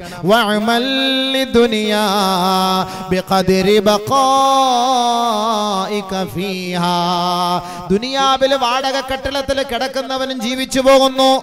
വീടില്ലാതെ റെയിൽവേ സ്റ്റേഷനിലെ പ്ലാറ്റ്ഫോമിൽ കിടക്കുന്നവനും ജീവിച്ചു പോകുന്നു. ഗവൺമെന്റ് ഹോസ്പിറ്റലിന്റെ ഓരത്തിൽ കിടക്കുന്നവനും ബസ് സ്റ്റാൻഡിൽ കിടക്കുന്നവനും വഴിയോരങ്ങളിലെ പെട്ടിക്കടകളുടെ മുറ്റത്ത് കിടക്കുന്നവനും ജീവിച്ചു പോകുന്നു. അവനും ഉറങ്ങുന്നു നമ്മളും ഉറങ്ങുന്നു അവരും തിന്നുന്നു നമ്മളും തിന്നുന്നു. അവരും കുടിക്കുന്നു നമ്മളും കുടിക്കുന്നു. ഈ വിനീതൻ കോഴിക്കോട് അടുത്ത സമയത്ത് പ്രസംഗിക്കാൻ പോയി. രാത്രി റെയിൽവേ സ്റ്റേഷനിലേക്ക് വരുന്നു. നാല് മണിയായപ്പോൾ കോഴിക്കോട് റെയിൽവേ സ്റ്റേഷനിലെത്തി. ആറു മണിക്കാണ് ട്രെയിന്. ബാങ്ക് വിളിച്ചു സുബൈക്ക് പള്ളിയിലേക്ക് പോകാൻ പോകുമ്പോൾ ആ റോഡിന്റെ വക്കത്തൊരു വലിയ പ്ലാറ്റ്ഫോം റോഡിന്റെ സൈഡിൽ കാണാം. സുബഹാനല്ലാ അഞ്ഞൂറിൽ പരം വരുന്ന ആണുങ്ങളും പെണ്ണുങ്ങളും കുഞ്ഞു കുട്ടികളും റോഡിന്റെ ഓരത്ത് കിടന്നുറങ്ങുകയാ. അഞ്ഞൂറിൽ പരം എന്റെ കൂട്ടത്തിൽ വന്ന സഹോദരനെ വിളിച്ച് ഞാൻ കാണിച്ചു. ആ കിടക്കുന്നത് നോക്ക് ഒരു മാസം പ്രായമുള്ള കുഞ്ഞ് രണ്ട് മാസം പ്രായമുള്ള കുഞ്ഞ് ഏഴ് എട്ട് വയസ്സ് വരെ പ്രായമുള്ള കുഞ്ഞു കുഞ്ഞു മക്കളടക്കം ഉമ്മാന്റെ മുലപ്പാൽ അമ്മിഞ്ഞപ്പാൽ കുടിച്ചുകൊണ്ട് ഉറങ്ങുന്നു. ഉപ്പാന്റെ മുകളിൽ കിടന്നിട്ട് ഉറങ്ങുന്നു വസ്ത്രങ്ങളില്ല. റെയിൽവേ സ്റ്റേഷനിൽ ഒരു പത്ത് മിനിറ്റ് മിനിറ്റ് ഇരുന്നപ്പോ കൊതുക് കടി സഹിക്ക വയ്യാതെ ഈ വിനീതൻ അവിടെ നിന്ന് എഴുന്നേറ്റ് പള്ളിയിലേക്ക് പോകാൻ വേണ്ടി വന്നുവെങ്കിൽ സഹോദര ആ റോഡിന്റെ സൈഡിലെ പ്ലാറ്റ്ഫോമിൽ വസ്ത്രം പോലും ഇല്ലാതെ അഞ്ഞൂറിൽ പരം നാടോടികളാണ് കുടുംബക്കാരാണ് അവരുടെ കുഞ്ഞുമക്കളാണ് കിടന്നുറങ്ങുന്നത്. അവരും ഉറങ്ങുന്നു. ഈ അബൂബക്കറും ഉറങ്ങുന്നു. അവരും ഉറങ്ങുന്നു. എ സി റൂമിൽ കിടക്കുന്നവരും ഉറങ്ങുന്നു. എല്ലാവരും ഉറങ്ങുന്നു. എല്ലാവരും ഉറങ്ങുന്നു. അവരും നേരം വെളുക്കുമ്പോ ബ്രേക്ക്ഫാസ്റ്റ് കഴിക്കുന്നു. ബെഡ് കോഫി കുടിക്കുന്നു. നമ്മളും ബെഡ് കോഫി കുടിക്കുന്നു. ബ്രേക്ക്ഫാസ്റ്റ് കുടിക്കുന്നു. എവിടെയാണ് വ്യത്യാസം? എവിടെയാണ് പ്രശ്നം? ആലോചിക്കൂ സഹോദര. നമ്മുടെ കുഞ്ഞിന്റെ ശരീരത്തിൽ വസ്ത്രമില്ലെങ്കിൽ ഉപ്പ വഴക്ക് പറയും ഉമ്മ വഴക്ക് പറയും ചള്ളയിലോ ചെളിയിലോ എങ്ങാനും ഇറങ്ങിപ്പോയ ഉപ്പ വഴക്ക് പറയും ഉമ്മ വഴക്ക് പറയും അസുഖം പിടിക്കും ഇറങ്ങല്ലേ? പക്ഷേ എത്രയോ മാലിന്യ കൂമ്പാരത്തിന്റെ ഓരത്തിലാണ് രണ്ടു മാസം പ്രായമുള്ള മൂന്ന് മാസം പ്രായമുള്ള കുഞ്ഞുങ്ങൾ ഉറങ്ങുന്നത്. കോഴിക്കോട് പോകാനും പാതിരാത്രി ആ നഗരം ചുറ്റാനും അവസരമുള്ളവർ പോയി നോക്കണം. റെയിൽവേ സ്റ്റേഷന്റെ തൊട്ട് മുന്നിലുള്ള റോഡിന്റെ ഇരുവശത്തുമായുള്ള പ്ലാറ്റ്ഫോമിലാണ് ഈ സംഭവം. നമ്മളും ഉറങ്ങുന്നു അവരും ഉറങ്ങുന്നു. അതുകൊണ്ട് ദുനിയാവ് എങ്ങനെയെങ്കിലും അഡ്ജസ്റ്റ് ചെയ്തു പോകും. വഅമല്ലിൽ ആഖിറ ബിഖദ്രി മഖാമിക ഫീഹാ. ആഖിറത്തിലേക്ക് വേണ്ടി സമ്പാദിക്ക്. അവിടെയാണ് നിനക്കൊരു വീട് വേണ്ടത്. അവിടെയാണ് വീട് വേണ്ടത്. അവിടെ ഒരു വീടിന് വേണ്ടി ദുനിയാവിലെ നീ പരിശ്രമിക്ക് പരിശ്രമിക്ക്. അതുകൊണ്ടാണ് നബി തങ്ങൾ പറഞ്ഞത് ദുനിയാവ് സിജിനാണ് ജയിലാണ്. ദുനിയാവ് അദ്ദുനിയ സിജ്നുൽ മുഅ്മിൻ. മുഅ്മിനിന്റെ ജയിലാണ്. അവിശ്വാസിയുടെ സ്വർഗമാണ് എന്ന് അള്ളാഹുവിന്റെ റസൂൽ പറഞ്ഞെങ്കിൽ എന്താ അതിന്റെ അർത്ഥം? അതിന്റെ അർത്ഥം എന്താ? നമ്മളിപ്പോ ജയിലിലാണ് കിടക്കുന്നത്? നമ്മളിപ്പോ ജയിലിലാണ് കിടക്കുന്നത്? നമ്മൾ ജയിലിലല്ല. വലിയ വലിയ പണ്ഡിതന്മാര് ജയിലിൽ കിടക്കുന്നു. ബഹുമാനപ്പെട്ട അബ്ദുൽ നാസർ അള്ളാഹു തല അദ്ദേഹത്തെ മോചിപ്പിക്കട്ടെ. എത്രയും പെട്ടെന്ന് മോചിപ്പിക്കട്ടെ. പാവം ബഹുമാനമുള്ള സഹോദരങ്ങളെ പാവപ്പെട്ട മനുഷ്യനാണ്. എത്രയോ പള്ളികൾക്കും മദ്രസകൾക്കും വിധവകൾക്കും വേണ്ടി അഹോരാത്രം പ്രസംഗിച്ച വ്യക്തി അള്ളാഹു താല ആഫിയത്തും ആരോഗ്യ ദീർഘായുസ് നൽകട്ടെ. അള്ളാഹു തആല എത്രയും പെട്ടെന്ന് നീതി നൽകി അള്ളാഹു അദ്ദേഹത്തെയും കുടുംബത്തെ രക്ഷിക്കുമാറാകട്ടെ. രാഷ്ട്രീയം അതെന്തുമാകട്ടെ അത് നമുക്ക് ബന്ധമില്ല. പക്ഷേ തെറ്റ് ചെയ്യാതെ അറിഞ്ഞുകൂട്ടി ചെയ്ത ഒരു ഒരു കുതന്ത്രമാണിത്. അതെല്ലാവർക്കും വ്യക്തമായിട്ടറിയാം. കോടതിക്ക് പോലും ഒന്നും ചെയ്യാൻ കഴിയുന്നില്ല. നീതിയില്ല. ഈ ദുനിയാവിൽ എവിടെയാണ് നീതി? നീതി പീഠത്തിൽ തന്നെ അടിയാണ്. അവിടം പോലും വർഗീയത കൊണ്ട് നിറഞ്ഞിരിക്കുകയാണ്. എന്ത് ചെയ്യും? അതാണ് യഥാർത്ഥ നീതിമാന്റെ മുന്നിൽ ഒരു ദിവസം പോകേണ്ടി വരും. അവനാണ് ആദിൽ. രാഷ്ട്രീയത്തോട് നമുക്ക് താല്പര്യമില്ല. പക്ഷേ പാവപ്പെട്ട പണ്ഡിതന്മാരെ ജയിലിനകത്ത് തളച്ചിടുമ്പോ നമ്മൾ ദുആയെങ്കിലും ചെയ്ത് അവർക്ക് അവരോട് ഒരു ആദരവ് അവരോട് ഒരു ബഹുമാനം കാണിക്കണം. ദുആയെങ്കിലും ചെയ്യണം. അള്ളാഹു മോചിപ്പിക്കുമാറാകട്ടെ. ബഹുമാനമുള്ള സഹോദരൻ അതുകൊണ്ട് അള്ളാഹു റസൂൽ പറഞ്ഞു ദുനിയാ സിജ്നുൽ മുഅ്മിൻ. മുഅ്മിനിന്റെ ജയിലാണ് ദുനിയാവ്. എന്താ കാരണം? എന്താ കാരണം? നാല് കാരണങ്ങൾ അതിന് കബറിലേക്ക് എത്തിയില്ല അങ്ങോട്ട് പോയില്ല. പോവും അത് ഇതിപ്പോ ജീവിതം. ഇനി മരണമുണ്ട്. മരണം കഴിഞ്ഞിട്ടല്ലേ ഖബറിലേക്ക് അല്ല ജീവിച്ച ഒരാളെ പെട്ടെന്ന് കൊണ്ടുപോയി കുഴിച്ചു വിടാൻ പറ്റുമോ കുഴിച്ചിടാൻ പറ്റുമോ ഇതിപ്പോ ഞാൻ ജീവിതം പറഞ്ഞ ഇപ്പൊ ദുനിയാവ് ജയിൽ ഇനി ഇത് കഴിഞ്ഞിട്ട് ഇനി റൂഹിനെ പിടിക്കണം. റൂഹിനെ പിടിച്ച് കൊണ്ടുപോയി കവറിനകത്ത് വെക്കണം. കവറിനകത്ത് വെച്ചിട്ട് അവനെ മുൻകണ്ണക്കരും വരുന്നത്. അല്ല ചുമ്മാ അങ്ങോട്ട് ഓടിപ്പോയിട്ട് ജീവിച്ചിരിക്കുന്ന മുൻകണ്ണക്കർ ഒരു ഇങ്ങോട്ട് ഇല്ല. അപ്പൊ പോന്നടം വരെ പോട്ടെ. കവർ കഴിഞ്ഞ് ഇനി അടുത്ത പ്രാവശ്യം കവറും ഒക്കെ പറയാം വിഷയം വേറെ. ആയിരിക്കും വണ്ടി പോട്ടെ പോകുന്നവരേക്കും പോട്ടെ.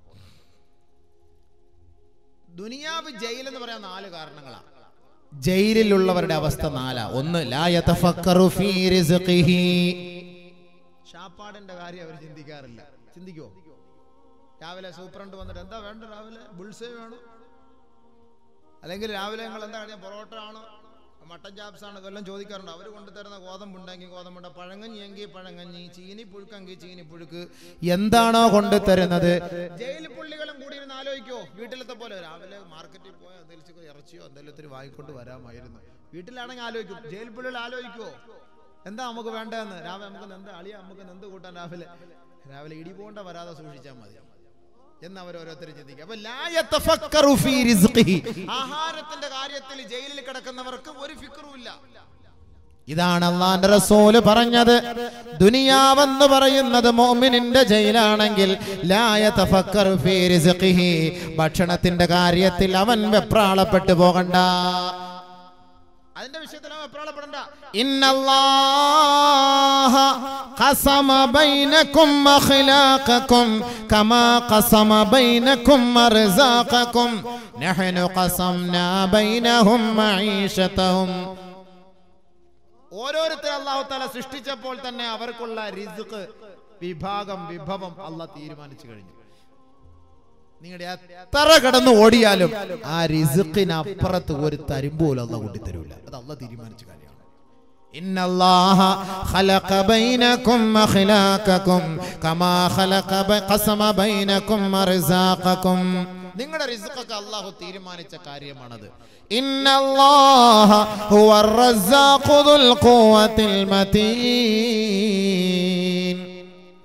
ومن يتق الله يجعل له مخرجا ويرزقه من حيث لا يحتسب. ومن يتوكل على الله فهو حسبه. إن الله بالغ أمره. قد جعل الله لكل شيء قدرا.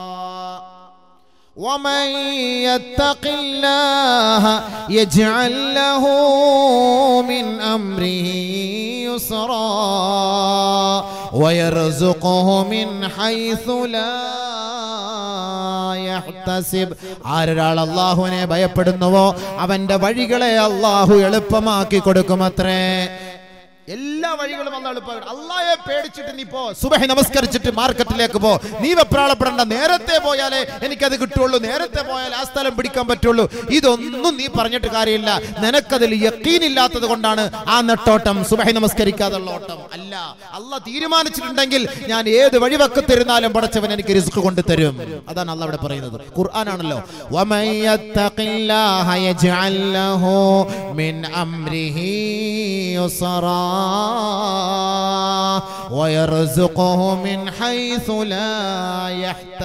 അവൻ അറിയാത്ത ഭാഗത്ത് നിന്ന് അള്ളാഹു അവന് റിസ്ക് എത്തിച്ചു കൊടുക്കും. വിഭവം എത്തിച്ചു കൊടുക്കും. ഇവൻ പോലും പ്രതീക്ഷിക്കില്ല. അഞ്ഞൂറ് രൂപയ്ക്ക് സാധനം എടുത്ത് കച്ചവടം ചെയ്തപ്പോ ആയിരത്തി ഒരുന്നൂറ് രൂപ ലാഭം. അറുന്നൂറ് രൂപ ലാഭം. ഇനി എന്തോ ഒരു കച്ചവടമായിരുന്നു പടച്ചവനെ. അവൻ തന്നെ അറിയില്ല. അവൻ അള്ളാഹു യക്കീൻ വെച്ചുകൊണ്ട് കച്ചവടം ചെയ്തു. അല്ലെ വെപ്രാളപ്പെട്ട് അവനെ ഇവിടെ ഒരു കടക്കാരൻ വന്നു. അവന് ഓപ്പോസിറ്റ് കട കൊണ്ടുവച്ചാൽ അവനെ എങ്ങനെയെങ്കിലും ഒതുക്കാൻ വേണ്ടി കാട മുട്ടയ്ക്കാത്ത സാധനം കൊണ്ട് അവന്റെ കടയുടെ ഫ്രണ്ടിൽ കൊണ്ട് കുഴിച്ചിട്ട് അവനെ അടങ്ങേറാക്കാൻ. ഇതിന്റെ ഒന്നും ആവശ്യമില്ല. പത്ത് കട ഒരുമിച്ച് വന്നാൽ അവിടെ കച്ചവടം കൂടെ ഉള്ളൂ. എന്തിനാ പേടിക്കുന്നത്? റിസ്കിൽ എന്തിനാ പേടിക്കുന്നത്? ഇവിടെ ഒരു കടക്കാരൻ വന്നാൽ അവൻ ഓപ്പോസിറ്റ് കട വന്നുവിടാ. ഇവിടെ ഒരു പലചരക്ക് വെച്ചാൽ ഇപ്പുറത്ത് കട ഇട്ടുകൂടാ ഇവിടെ ഒരു തുണിക്കട വന്നാൽ അവൻ ഓപ്പോസിറ്റ് തുണിക്കട ഇവിടെ ഒരു പരദാ സെന്റർ ഇപ്പുറത്ത് ഒരു പരദാ സെന്റർ തുടങ്ങിക്കൂടാ. എന്താ ഇത് സുഹൃത്തെ? നമുക്കത് യക്കീനില്ലാത്തത് കൊണ്ടല്ലേ? അങ്ങനെ ചിന്തിക്കുന്ന ഞാൻ മാത്രമല്ല ഇവിടുത്തെ കച്ചവടക്കാരൻ എനിക്ക് മാത്രം നല്ല കച്ചവടം. ഇതൊന്നും പറഞ്ഞിട്ട് കാര്യമില്ല. അല്ല തീരുമാനിക്കുന്നവർക്ക് അവർക്ക് കിട്ടുള്ളൂ. അല്ല തീരുമാനിക്കുന്ന രസം അതുകൊണ്ട് അള്ളാഹു യക്കീൻ വെച്ചാൽ അവൻ അറിയാത്ത ഭാഗത്തുള്ള റിസ്ക് കൊടുക്കും. അതുകൊണ്ട് ജയിൽ പുള്ളികൾ ഭക്ഷണത്തിന്റെ കാര്യത്തിൽ ചർച്ചയില്ല. രണ്ടാമത് യൻതളിറുൽ ഫറാജ്. എപ്പോഴും എപ്പോഴും ജയിലിൽ നിന്ന് ജാമ്യം കിട്ടും ജാമ്യം കിട്ടും ജാമ്യം കിട്ടും എന്നുള്ള പ്രതീക്ഷയിലാണ്. അല്ലേ? ജയിലിനകത്ത് കിടക്കുന്നവർ ഒരു അഡ്വക്കേറ്റ് വരുമ്പോൾ ആ ജാമ്യത്തിന്റെ പേപ്പറുമായിട്ട് വരുമായിരിക്കും ആ ഇന്ന് പുറത്തു പോകാം. ഇന്ന് മക്കളെ കാണാം ഇന്ന് ഭാര്യയെ കാണാം ഇന്ന് കുടുംബത്തെ കാണാം ഇന്ന് വെളിയിലേക്ക് പോകാം. ഇങ്ങനെ വെപ്രാളം വെളിയിലേക്ക് പോകാൻ പറ്റും വെളിയിലേക്ക് പോകാൻ പറ്റും. ജാമ്യം കിട്ടും ജാമ്യം കിട്ടും ജാമ്യം കിട്ടുള്ള ചിന്തയാണ്. മോമിനെ അപേക്ഷിച്ചിടത്തോളം ഈ ദുനിയാവിൽ നിന്ന് ഏത് സമയത്തും പോകാനുള്ള തയ്യാറെടുപ്പാണ്? ഏത് സമയത്തും അള്ളാഹു എന്നെ റൂഹ് പിടിക്കാൻ വേണ്ടി വരും. ഞാൻ എല്ലാ ഭാഗവും നിറഞ്ഞിരിക്കുകയാണ് റബ്ബെ. നീ എപ്പോ വന്ന് പിടിച്ചാലും ഞാൻ തയ്യാറാണ്. അതാണ് എന്താ ഇഫ്രാജ് ദുനിയാവിൽ നിന്ന് ഇറങ്ങി പോകാൻ വേണ്ടി എപ്പോഴും റെഡിയായിരുന്നു? അല്ല വരുമ്പോ ഒരു- അഞ്ചു ലക്ഷം റുപ്യ ഇടപാട് തീർത്ത് കിട്ടാനുണ്ട്. അതോടെ ഒന്ന് മേടിച്ച് മക്കൾക്ക് ഏൽപ്പിച്ചിട്ട് ഒരു ഒരു ഒരു രണ്ട് മണിക്കൂർ സമയം തന്നാൽ ഞാൻ ടാക്സി പിടിച്ചു പോയി അത് ഇടപാട് തീർത്ത്. ഒരു അഞ്ച് മിനിറ്റ്. ഇത് ദുനിയാവ്. ആഹ്റത്തെ പേടിച്ച് ജീവിക്കുന്നവന്റെ വിഷയത്തിൽ അതാത് ഭാഗങ്ങൾ അപ്പോൾ ക്ലിയർ ചെയ്ത് ക്ലിയർ ചെയ്തേ മുന്നോട്ട് പോവുള്ളൂ. എപ്പോഴും ഞാൻ റെഡിയാണ് എന്താ ഇഫ്രാജ് ഏത് സമയത്തും ഞാൻ ഇറങ്ങി വരാൻ തയ്യാറാണ്. അതാണ് ദുനിയാവ് ജയിൽ. ജയിൽ എന്ന് പറയാനുള്ള കാരണം. മൂന്ന് അല്ലിത്താ അനുസരണമുള്ളവരായിരിക്കും ജയിൽ പുള്ളികൾ. സൂപ്രണ്ട് വരുമ്പോ അനുസരിക്കും. സൂപ്രണ്ടിനെ അനുസരിച്ചേ പറ്റുള്ളൂ. ജയിൽ വാർഡിനെ അനുസരിച്ചേ പറ്റുള്ളൂ. പോലീസിനെ അനുസരിച്ചേ പറ്റുള്ളൂ. അതല്ലാതെ ഞാൻ ഇന്നാളാണ് രാഷ്ട്രീയക്കാരൻ. മന്ത്രിമാർ പോലും അകത്ത് കിടക്കുന്നു. മിണ്ടാതെ അവിടെ കട. പറഞ്ഞിട്ട് കാര്യമൊന്നുമില്ല. ഞാൻ മറ്റേ മന്ത്രിയാണ് ഞാൻ ഇന്ന മന്ത്രിയാണ്. ഞാൻ തിരിച്ചറങ്ങാതെ തന്നെ അതെല്ലാം തിരിച്ചറങ്ങുമ്പോൾ പിന്നത്തെ കാര്യം ഇപ്പൊ അവിടെ മിണ്ടാതെ ഐസ്ക്രീം തിന്നോണ്ട് കട എന്ന് പറയുന്ന പോലെ. മിണ്ടാതെ വെള്ളം കുടിച്ചോണ്ട് കട എന്ന് പറയുന്ന പോലെ. ബഹുമാനമുള്ള സഹോദരങ്ങളെ ദുനിയാവിൽ വെച്ച് അള്ളാഹു സുബാനഹുവത്തായാലയുടെ മുന്നിൽ മറ്റാരെയും പേടിക്കണ്ട അവനെ അനുസരിക്കുക. അനുസരണം മുഴുവനും അവനായിരിക്കണം. അള്ളാഹുവിനനുസരിക്കുക മുഅ്മിനിന്റെ അവസ്ഥ. നാലാമത് അൽ ഖനാഅത്തു ഉള്ളത് കൊണ്ട് തൃപ്തിപ്പെടുക. ഉള്ളത് കൊണ്ട് ഇപ്പൊ നമുക്കൊരു വീടുണ്ട്. അലഹമില്ല അത്യാവശ്യം മാന്യമായ വരുമാനമൊക്കെ ഉണ്ട്. പടച്ചവനെ കടങ്ങളും മറ്റു കാര്യങ്ങളൊന്നുമില്ല. മറ്റു കൂടുതൽ ബാധ്യതകളൊന്നുമില്ലാതെ ഹൈറായ രീതിയിൽ നീ മുന്നോട്ട് കൊണ്ടുപോയാൽ മതി എന്ന ഒരു ചിന്തയോടുകൂടി റാഹത്തായിട്ട് പോയാൽ ഉള്ളത് കൊണ്ട് ഉള്ളത് കൊണ്ട് തൃപ്തിപ്പെടുന്ന ജയിൽ പുള്ളികൾ അങ്ങനെയല്ലേ? ഒരു ഉണ്ട കൊണ്ട് തരും. സാറേ ഏമാനെ ഒരു രണ്ടെണ്ണം കൂടെ താ. ഞാൻ രാവിലെ പതിനൊന്ന് പൊറോട്ട അടിക്കുന്നവൻ എനിക്ക് ഒരു ഉണ്ട തിന്നാ എന്റെ മൂലയിൽ എങ്ങും എത്തൂല. എന്ന് പറഞ്ഞിട്ട് വല്ല കാര്യമുണ്ടോ? ഉള്ളത് കൊണ്ട് തൃപ്തിപ്പെടുക. ആ ശൈലിയായിരിക്കണം ഈ നാല് കാരണങ്ങൾ ഉള്ളത് കൊണ്ടാണ് നബിയുനാ റസൂലുള്ളാഹി തങ്ങൾ പറഞ്ഞത് അദ്ദുനിയാ സിജ്നുൽ മുഅ്മിൻ. ദുനിയാവ് മുഅ്മിനിന്റെ ജയിലാണ് എന്ന്. അപ്പൊ ഈ ജയിലിൽ കൂടുതൽ കിടക്കാൻ ആരും ആഗ്രഹിക്കൂല? ആഗ്രഹിക്കോ? മഹമൽ പർ സോനേ വാലേ മിട്ടി മേ സോ രഹാ ഹേ. കെട്ടിടത്തിന്റെ മുകളിൽ കിടന്നുറങ്ങുന്നവനെ നീ ഒരു ദിവസം നാളെ മണ്ണിന്റെ അടിയിൽ പോയി കിടക്കേണ്ടവനാണ്. മഹമൽ മേ സോനേ വാലേ മിട്ടി പർ സോ രഹാ ഹേ. കെട്ടിടത്തിൽ അമ്പര ചുംബികളായ കൊട്ടാരത്തിൽ കിടന്ന് വിശ്രമിക്കുന്നവൻ നാളെ ഒരു ദിവസം എ ഇല്ലാത്ത ഇരണ്ട മുറിയിലേക്ക് പോകേണ്ടവനത്രേ. അതാണ് നമ്മുടെ ജീവിതത്തിന്റെ തുടക്കം. ഇതൊരു പരീക്ഷണമാണ്. ജയിലിൽ നിന്ന് മോചിതനായാൽ അതായത് ദുനിയാവിൽ നിന്ന് നീ വിട പറഞ്ഞു പോയാൽ അടുത്ത ജീവിതം നീ എങ്ങോട്ടേക്കാണ് കബറിലേക്കാണ് അതുകൊണ്ട് ഓരോ വ്യക്തികളും മരണത്തെ രുചിക്കുക തന്നെ ചെയ്യും. كل نفس ذائقة الموت وإنما توفون أجوركم يوم القيامة.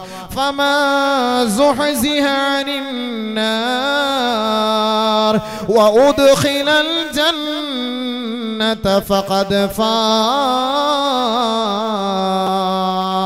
ഓരോ ആത്മാവും മരണത്തെ രുചിക്കുക തന്നെ ചെയ്യും. അവിടെ പാശ്ചാത്യനെന്നോ പൗരസ്ത്യനെന്നോ വില കൂടിയവനെന്നോ വില താഴ്ന്നവനെന്നോ സമ്പന്നനെന്നോ ദാരിദ്ര്യത്തിൽ പെട്ടവനെന്നോ എ പി എൽ കാർഡുകാരനെന്നോ ബി പി എൽ കാർഡുകാരനെന്നോ ഇല്ല. പ്രവാചകന്മാരായാൽ പോലും ദുനിയാവിലുള്ള സകലമാന സൃഷ്ടികളും മരണത്തെ രുചിക്കുക തന്നെ ചെയ്യും അത്രേ. പക്ഷേ അള്ളാഹു ഇവിടെ പറയുന്ന ഒരു പോയിന്റ് ഫമ സുഹസിഹ عن النار وأدخل الجنة. ആരൊരാൾ മരണപ്പെട്ട് ആഹ്റത്തിലേക്ക് എത്തിയാൽ അവന് സ്വർഗത്തിലേക്കുള്ള പ്രവേശനമാണ്. സ്വർഗത്തിലേക്കുള്ള കവാടത്തിന്റെ പാസ് അവന്റെ പാസാണ് കിട്ടിയതെങ്കിൽ ഫഖദ് ഫാസ് അവൻ അവിടെ വിജയിച്ചു അത്രേ അവൻ നരകത്തിൽ നിന്ന് മാറ്റി നിർത്തപ്പെട്ടവനാണ്. സ്വർഗത്തിന്റെ വഴിയിലൂടെ സഞ്ചരിക്കേണ്ടവനാണ്. അള്ളാന്റെ റസൂലിനോടൊപ്പം സ്വർഗത്തിൽ പരിലസിക്കേണ്ടവനാണെങ്കിൽ അവൻ വിജയിച്ചു. അവൻ വിജയം പ്രാപിച്ചു.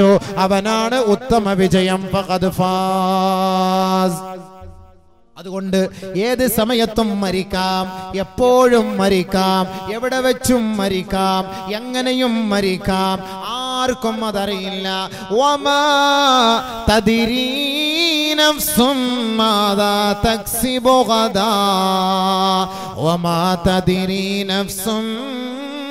بأي أرض تموت എല്ലാ ആത്മാവും മരണത്തെ രുചിക്കും. പക്ഷേ ആ ആത്മാക്കൾ അറിയുന്നില്ല. നാളെ എന്താണ് ഞാൻ ചെയ്യുക എന്ന്. നാളെ എവിടെ വെച്ചാണ് മരിക്കുക എന്ന്. എങ്ങനെയാണ് മരിക്കുക എന്ന്. ഏത് സമയത്തിലാണ് മരിക്കുക എന്ന്. ഈ പ്രസംഗിക്കുന്ന അബൂബക്കറിനോ ഈ കേൾക്കുന്ന നിങ്ങൾക്കോ അറിയില്ല. നമ്മൾ ഇന്ന് ധരിക്കുന്നു നാളെ നേരം വിളിക്കുമ്പോൾ നെടുമ്പാശ്ശേരിക്ക് പോകണം കോഴിക്കോട്ടേക്ക് പോകണം അടുത്ത മാസം അഞ്ചാം തീയതി ഗൾഫിലേക്ക് പോകണം. ഇതൊക്കെ നമ്മൾ ടിക്കറ്റ് എടുത്ത് ഉറപ്പിച്ചു വെച്ചിരിക്കുകയാണ്. പക്ഷെ അള്ളാഹു നമ്മോട് ചോദിക്കുന്നു വമാ തദിരീ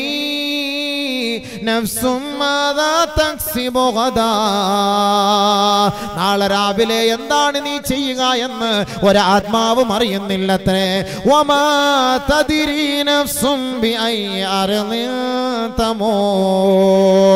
ഹജ്ജിന് പോകുമ്പോ നീയത്ത് ചെയ്യും പടച്ചവനെ എന്നെ കാബയുടെ മുന്നിലിട്ട് മരിപ്പിക്കണേ. അള്ളാഹുവേ സഫയുടെ മുകളിൽ വെച്ച് മരിപ്പിക്കണേ. മീസാബിന്റെ കീഴിൽ വെച്ച് മരിപ്പിക്കണേ. പരിശുദ്ധ പ്രവാചകന്റെ മദീന മുനവ്വറയുടെ മുന്നിൽ വെച്ച് എന്റെ റൂഹടിക്കണമേ എന്ന് കൊതിച്ച് ആഗ്രഹിച്ചുകൊണ്ട് മക്കയിലേക്കും മദീനയിലേക്കും പോകുന്നവർ വെണ്ടക്കാട കൂട്ടി തിരിച്ചു വരുന്നു. അവൻ മരിക്കുന്നില്ല മരിക്കുന്നില്ല. അള്ളാഹു പറയുകയാണ്.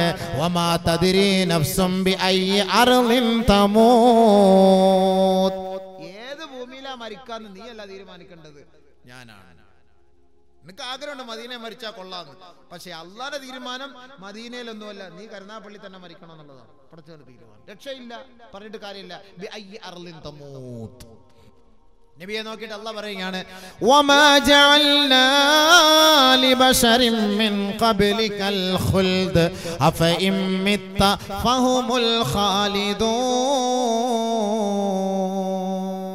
നിങ്ങൾക്ക് മുമ്പുള്ളവരെല്ലാം മരിച്ചുപോയി നബിയെ.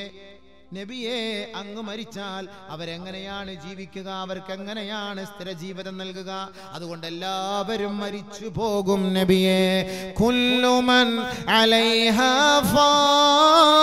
ഫാൻ ويبقى وجه ربك ذو الجلال والإكرام فبأي آلاء ربكما تكذبان എല്ലാ മുഖങ്ങളും നശിച്ചു പോകും. എല്ലാ ജീവിതത്തിനും ഒരു തിരശീല വീഴും. എല്ലാം അസ്തമിച്ചു പോകും. പടച്ച തമ്പുരാൻ ആ നാഥന്റെ മുഖം മാത്രം നാളെ എന്നെന്നും നിലനിൽക്കും അത്രേ ഈ ദുനിയാവ് നശിച്ചു പോകും. എല്ലാവരും മരണത്തിന് അടിമപ്പെടേണ്ടവരാകും. മരണത്തിന് കീഴ്പ്പെടേണ്ടവരാണ്. അതുകൊണ്ടാണ് യഥാർത്ഥ മരണം വരുന്നതിന് മുമ്പ് അള്ളാഹു നമുക്ക് സാമ്പിൾ മരണം നൽകുന്നത്.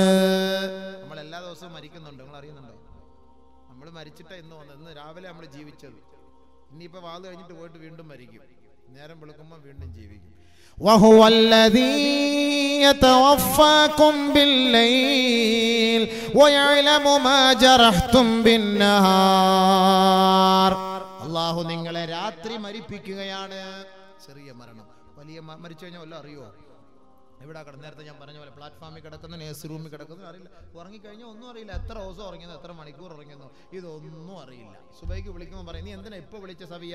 ഞാൻ ഇപ്പോൾ കിടന്നതല്ല ഉള്ളൂ. എത്ര മണി കിടന്ന ആൾ പറയാ? ഒമ്പത് മണിക്ക് കിടന്ന ആൾ പറയാ. സുബൈക്ക് അഞ്ചരയ്ക്ക് വിളിച്ചോ പറയാം നീ എന്തിനാ ഇപ്പോൾ വിളിച്ച? ഞാൻ ഇപ്പോൾ കിടന്നതല്ല ഉള്ളൂ. ഒമ്പത് മണിക്ക് ഉറങ്ങിയ ആൾ ഉറക്കം എന്ന് പറഞ്ഞാൽ അങ്ങനെയാണല്ലോ. മരിച്ച ഉറക്കം പിന്നെ ഇച്ചിരി മയക്കം മരുന്ന് അടിച്ചാൽ പിന്നെ പറയുകയും വേണ്ട. നല്ല റാഹത്തായ ഉറക്കം. നല്ല ഉറക്കം. അടുത്ത സമയത്തൊന്നും എഴുന്നേക്കില്ല നല്ല ഉറക്കം. وهو الذي يتوفاكم بالليل ويعلم ما جرحتم بالنهار ثم يبعثكم فيه ليقضى أجل مسمى പിന്നെ ഒരു നിശ്ചിത അവധി വരെ പൂർത്തീകരിക്കുന്നതിന് അള്ളാഹു നിന്നെ വീണ്ടും എഴുന്നേൽപ്പിക്കുകയാണ് നിനക്കൊരു സമയം അല്ല നിശ്ചയിച്ചിട്ടുണ്ടല്ലോ ആ സമയം വരെ എത്തുന്നതിന് അല്ല നിന്നെ വീണ്ടും ഉയർത്തെഴുന്നേൽപ്പിക്കുകയാണ് ചെറിയ ഉറക്കം ചെറിയ ഉറക്കം. എന്നിട്ട് അല്ല പറയാണ്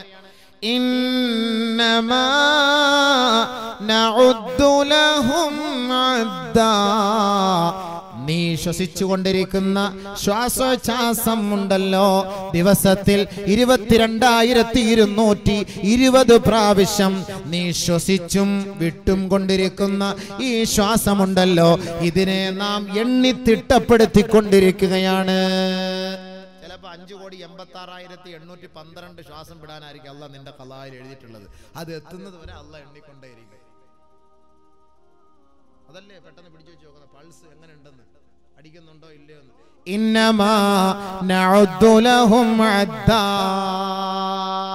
അതിൽ വല്ല കുറവ് വന്നു പോയാൽ അപ്പോഴേ മനസ്സിലാക്കും. ആൾ ഔട്ടാവാൻ സമയമായി അതല്ലേ എല്ലാം സുന്ദരിപ്പടം ഒട്ടിച്ചിട്ട് മറ്റേ സ്ക്രീനിൽ കൊണ്ടുപോയി നോക്കിക്കൊണ്ട് ഇങ്ങനെ അവർ പിടിച്ചു വെച്ച് നോക്കിക്കൊണ്ടിരിക്കുന്നത് ഏത് സമയത്ത് ഔട്ടായി പോകുന്നത് അത് കുറഞ്ഞു പോകുമോ അതിന്റെ വേരിയേഷൻ ഒക്കെ നോക്കി നോക്കി ചികിത്സിക്കുന്നത് ഇന്നമാ നഉദ്ദു ലഹും അദ്ദാ. ഞാൻ എണ്ണിക്കൊണ്ടിരിക്കുക അങ്ങടെ ആയസ് اقترب للناس حسابهم وهم في غفلة معرضون നിങ്ങളുടെ ഹിസാബ് വിചാരണക്കുള്ള സമയം അടുത്തിരിക്കുക. പക്ഷെ നിങ്ങൾ അത് ചിന്തിക്കുന്നില്ലല്ലോ നിങ്ങൾ അശ്രദ്ധയിലാണല്ലോ. അള്ളാഹുവിന്റെ ചോദ്യമാണ് മറുപടി കണ്ടെത്ത്. പിന്നെയല്ലേ മരണവും കബറും ഒക്കെ. നിങ്ങൾ നിങ്ങൾ ചിന്തിക്കുന്നില്ലല്ലോ നിങ്ങളുടെ ഹിസാബിന് സമയമായി. അടുത്ത റൂഹ് വരാൻ പോകും മലക്ക് പിടിക്കാൻ വരാൻ പോവാണ്. നിങ്ങളുടെ റൂഹ് പിടിക്കാൻ പോവാണ്. നിങ്ങളുടെ സമയം. വഹും ഫീ ഗഫ്ലത്തിൻ മുഅരിദൂൻ.